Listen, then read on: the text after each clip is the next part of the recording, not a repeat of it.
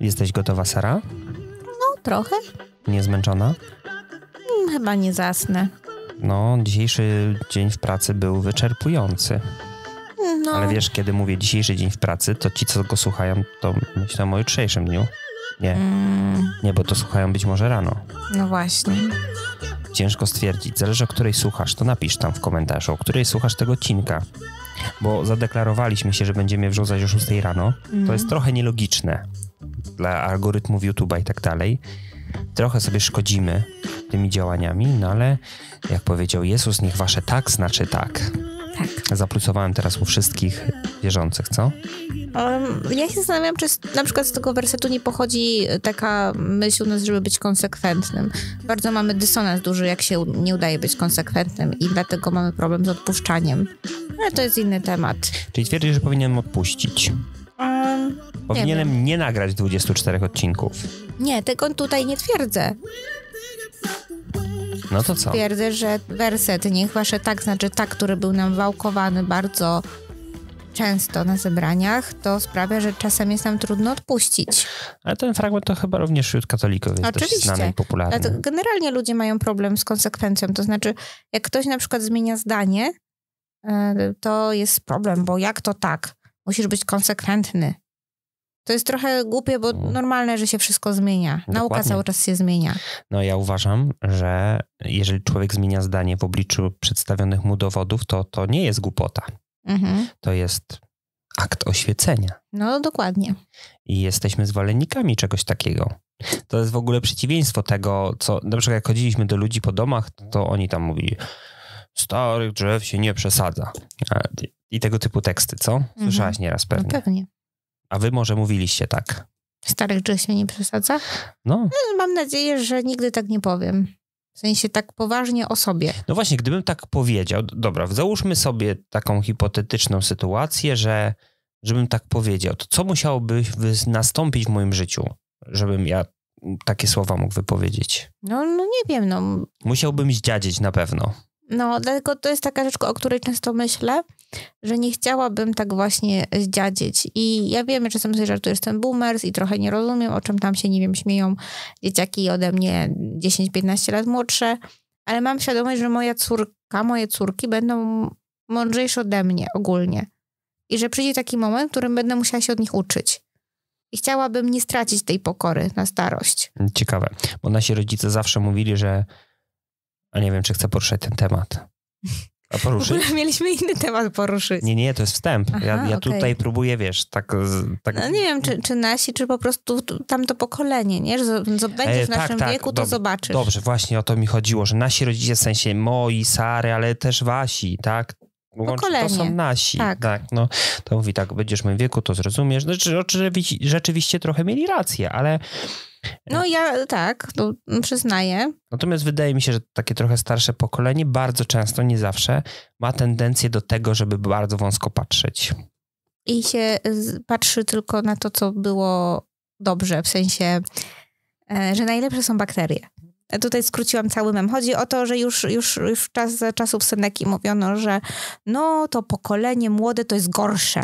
Tak. I każdy tak mówi i jedynie bakterie, które były pierwsze, to wiedzą, że one są najlepsze po prostu. Mhm. No, bardzo ten, bardzo to skróciłaś. No, ale ponieważ mówimy o pewnych. Ej, zaczekaj. O, taki ASMR może być. To, to wyszło przypadkiem, bo drapałem się po wąsach. To był dźwięk drapania się po wąsach. Możecie gdzieś sobie zapisać. E, Mówimy o różnym sposobie patrzenia, patrzenia szerzej, węziej i tak dalej. Ale chcieliśmy zahaczyć o pewien temat, który tak Sarze rzuciłem, czyli o to, jak świadkowie Jehowy postrzegają święta i że trochę je lubią i trochę ich zazdroszczą. I myślę, że tak patrzyli. Ja tak trochę patrzyłem, ale ponieważ jak jesteś świadkiem, to jeżeli siebie złapiesz na czymś takim, że tobie się podobają święta, no to to będzie cię bolało. Mhm. I Czyli pojawia się słynny Dysonans. dysonans. No i Tak. wtedy musisz zrobić coś takiego, co ten dysonans redukuje. No jakąś myśl na przykład, No. miałeś bardzo fajną myśl, mm, że Tak. nie wydam tyle na prezenty. No właśnie, czyli pomówmy o tym, jak świadkowie Jehowy racjonalizują sobie to, że nie obchodzą świąt i że to jest dla nich lepsze, jakie mają właśnie teksty. No to, to chyba mój ulubiony i pewnie znany wielu dzieciom wychowanym świadków. E, No i idziesz sobie w grudniu na przykład na głoszenie i słyszysz, że a, bo wy to nie dostajecie prezentów. No oczywiście, że dostajemy. Oczywiście, cały czas. I jest na przykład y, 15 grudnia, więc lecisz w te pędy do marketu, kupujesz coś, nawet nie zapakujesz, po co, nie? I dajesz dziecku, dobra, masz prezent. No, słuchaj. Chciałbym, żeby tak było w domach wielu świadków. Znaczy, myślę, że no bo tutaj sięgniesz po te domy, w których nie było, nie? No bo w takim byłem, w którym nie było. No, I co A. powiesz? no przykro mi bardzo. Ty dostawałaś chociaż 100 złotych. Nie no, dostawałam prezenty. O, Na koniec roku szkolnego na przykład dostawałam. E, także, wiesz, ja nie mogę powiedzieć, że nie dostawałam prezentów, chociaż e, nie, chyba od rodziców nie było faktycznie. Po, po, poczekaj, poczekaj, w okolicach grudnia, nie kojarzę. Raczej właśnie to było na koniec roku szkolnego, coś takiego. To pamiętam na pewno, że na przykład był tort, impreza, że coś tam, to Albo mama ci kupiła książkę, którą chciałaś dostać. tak, albo e, jakiegoś bobasa dostałam. Maję. Nie, żartuję teraz. E, ale chodzi mi o sam okres świąteczny. To, to, to, to wybaczcie. Bo basa Sorry, tak specjalnie. Nie, takiego bobasa, którego Wiem. można było karmić. I on sikał i robił kubkę. Tak, ale to nie było baby board, ale mam taki prezent, który bardzo To chciałam był mieć. dzieciak bobas grawitacyjny. No bo baby board to Cicho. chyba robi tak, że ta kubka tam czeka, czeka, czeka i dopiero później wylatuje. Nie wiem, nie wiem. I ostatnio y, chyba gadałam kiedyś z Izą, mm, kocią łapę właśnie, że, że też zawsze chciała baby born. E, Ale że podobno na żywo, jak już patrzysz na to jako dorosła, to to nie jest wcale takie fajne. No tak, widziałem to na Instagramie gdzieś tam rzucałem. No, ale, ale wróć do dobre. swojego opowiadania, bo A, przerywasz bo chciałam sobie. powiedzieć, jaki prezent zawsze chciałam, a nie dostałam. To nie teraz chyba. No dobrze, to nie opowiem. Zaczekaj. Nie, nie, nie, no jednak dobry to jest moment na mówienie tego, ponieważ mówimy o prezentach, których nie dostaliśmy.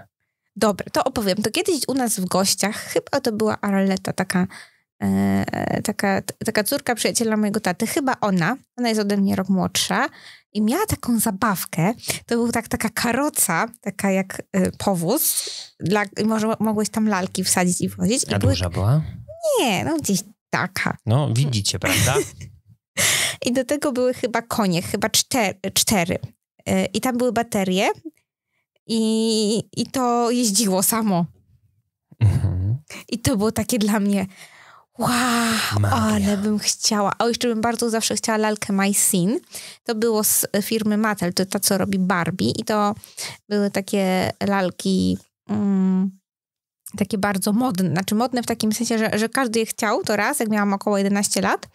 Ale też one były, y, reklamowały się tym, że one mają styl. I, I tam była każda inna i, i każda tam w zestawie było co innego lubiła. I to jest coś, co zawsze też bardzo chciałam. I nie miałam lalki Macy. Dobrze, czyli chciałaś dostać prezenty, których nigdy nie dostałaś. No ale dostałam też to, co chciałam. Edwin, tu, ja, ja, ja, ja wiem, że, że wielu świadków małych nie dostało nigdy prezentu, ale no też musimy mm, musimy oddać sprawiedliwość tej grupie, która która coś tam stara się zrobić, chociaż y, też uważam, że to jest właśnie często mocno naciągane, ponieważ na przykład widać, mm, robi się z tego straszną szopkę. Tak jak na Instagramie patrzę. To znaczy, wiesz, z jednej strony nie mówi się, że no dzieci dostają prezenty ciągle. Po czym jest cała relacja, jak tutaj specjalnie pakujemy w piękny papier i dajemy prezenty i załóżmy, że to jest, nie wiem, miesiąc przed świętami, dwa tygodnie przed świętami i wszyscy pytają, a co to za okazja urodziny? Nie, bez okazji, bo my możemy dawać prezenty bez okazji. Kurde, relacja na 15 kafelek, żeby pokazać, że dajemy prezenty bez okazji. To jakaś influ zrobiła? Oczywiście. No, chyba się domyślam, która. No. Tak? Nie no, spoko, tylko, tylko A ta, wiesz, co bliżej nas mieszka, czy ta, co dalej? nie wypowiem się na ten No temat. powiedz. Eee, Bliżej? aha. Kiwnij głową. Tak, aha, no dobra. No, ciekawe. E, może też zróbmy coś takiego. Okej, Za, zapakujmy no, i relacje zrobimy. Y, może ty mi zapakuj jakiś prezent. bez okazji. Tak. Mogę siebie wstążką przywiązać. No. A, I, taki I co? I z tego zrobimy relacje. Myślę, że wielu by chciało. Będzie na Na tym to- portalu. No, no nie ten portal. Musimy sobie zrobić OnlyFans. Jak Edwin lepi pierogi. Tak, tylko to było na Instagramie. No dobra, ej, bo y, trochę odpłynęliśmy, a mówiliśmy o tym, jak świadkowie sobie to tłumaczą. No. Chociaż ten temat, że nie dostawaliśmy prezentów, no, przepraszam, ja nie dostawałem prezentów. Ja wiem, że jak moi rodzice to słuchają, to ich może to zaboleć. Ale raz dostałem tylko prezent. Więcej prezentów w życiu nie pamiętam.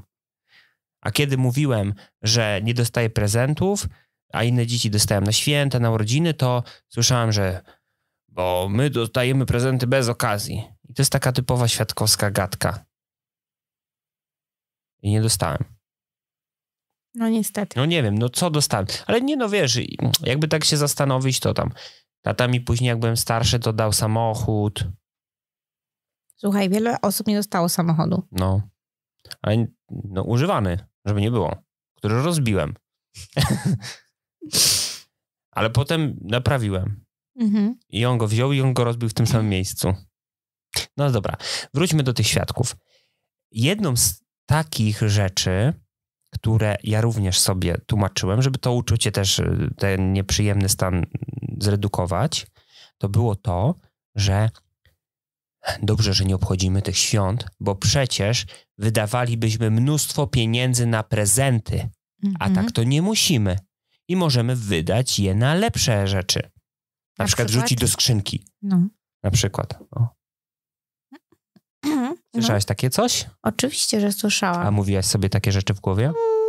Nie, tego akurat nie A ja mówiłam mówiłem? sobie. Ale my wtedy byliśmy bardzo, bardzo biedni, do to częściej chyba sobie mówiliśmy to. Mhm.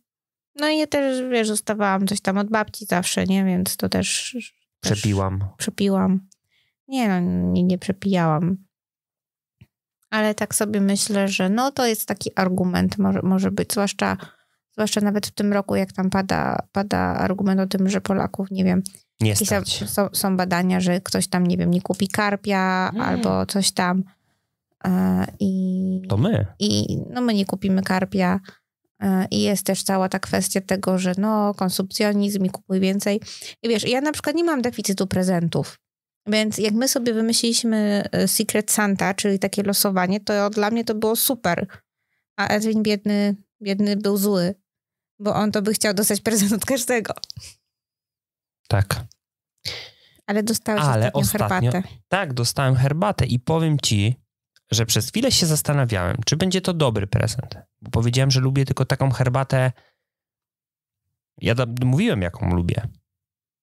I otwieram to pudełko i patrzę, hmm, czy taką lubię.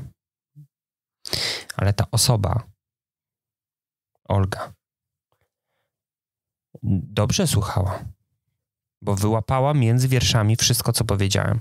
I dobra ta herbata. Mhm. Mimo, że taka inna niż bym wybrał, ale dobra. No i to był bardzo miły prezent. Prawie się popłakałem, wręcz się wzruszyłem. To prawda, nawet teraz oczy mu się błyszczą. Tak, i pudełeczko było piękne i stoi za mną na, na półeczce, żeby mi przypominać. No już nie płacz. Znaczy, albo płacz, no nie wiem. Nie no, aż tak to nie, ale rzeczywiście to było mega, mega miłe. Jeszcze list był Mhm. od, napisany odręcznie. Super, dzięki Olga. Wiemy, że słuchasz. Ja też dziękuję, bo dostałam książkę. Przy okazji, A tak, tak, był prezent dla Edwina. Tak, ja, ja się załapałam na na krzywy ryj. przesyłkę. No, Tak. żeby nie trzeba było No. drugiej.